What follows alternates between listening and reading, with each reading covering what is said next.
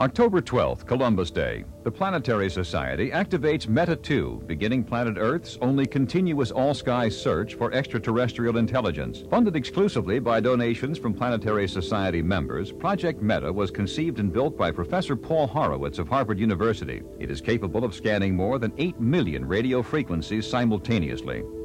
For Planetary Society President Carl Sagan, this technical progress is what has made the present era unique. There's never been a time like that before.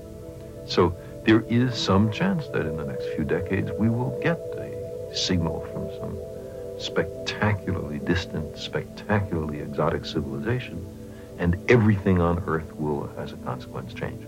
That is possible. META 2 is a duplicate of META 1, which began searching the Northern Hemisphere in 1985 when motion picture producer and director Steven Spielberg threw the switch to kick off the program.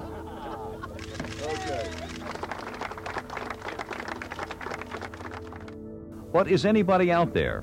Frank Drake, who conducted the first SETI search in 1960, thinks there may be thousands of civilizations.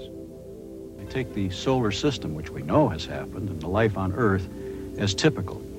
And as far as we know, it is typical. We know of nothing, no freakish event that was required for us with our motorcycles and our videotape recorders to exist. I think even if there's a plausible argument for a few, we ought to keep looking. I'd even go further than that if there's a plausible argument that there isn't anybody out there, bearing in mind that we can be wrong, we ought to keep looking because the question is of the most supreme importance. It calibrates our place in the universe. It tells us who we are.